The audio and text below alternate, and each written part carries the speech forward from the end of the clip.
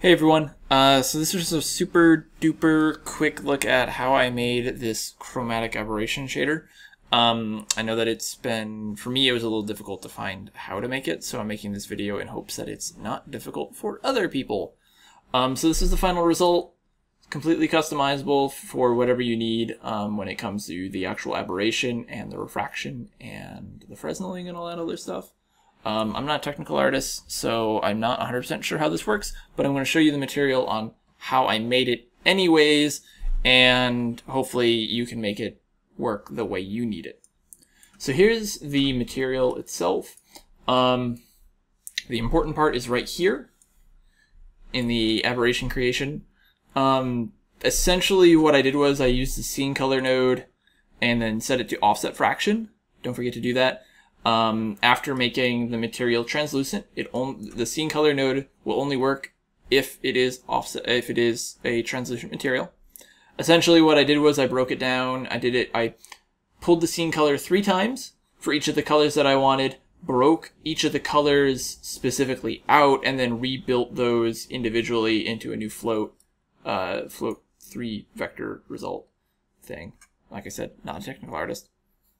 Um, I ran that through a Fresnel shader uh, just because I like having that a bubbly effect, and I use a I use um, Fresnel on the refraction so that I can get stronger refraction on the edges and not in the middle, so that the middle isn't as distorted and the edges look more bubbly, just the way that I needed it. You can adjust it however you want.